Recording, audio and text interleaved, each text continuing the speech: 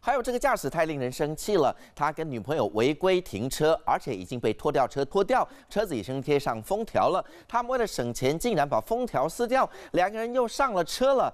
这下子被拖吊车的驾驶看到了，气到破口大骂。很凶危险，那请问你凶什么东西？你太来说你说，我来说你说。蓝色上衣男子大暴走，因为遇到轿车驾驶不服拖车规定，两人当街飙骂，远警出面劝架。你上去干嘛？你凶什么东西？警察都没有你这么凶哎！哎呦，你是警察吗？就好了我跟你讲，你有妨碍你什么公务啊？轿车驾驶女友跳出来说话，当时情侣俩为了省下一笔拖车费，擅自拆下封条跳上轿车，这个举动让拖车人员情绪失控。看什么东西啊？像我们家女生呢？怎么样又怎样？怎么样怎样？啊！纠纷发生在新竹文孝街上，驾驶违规停在路口转弯处，违停罚九百，拖车费罚六百元。车轮已经勾上拖车，就不能阻止。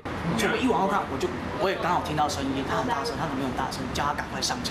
车辆上架并脱离原地后，即不得放车。本案民众在拖掉车辆行驶中，欲开启车门上车，差点造成危险。情侣档又拦车又拿手机录影作证，想要上网偷拍，但没想到涉及妨碍公务。而拖车驾驶一开始有理性规劝，但也为失控举动鞠躬道歉，呼吁民众还是要守法，别让人为难。浙中明显金主报道。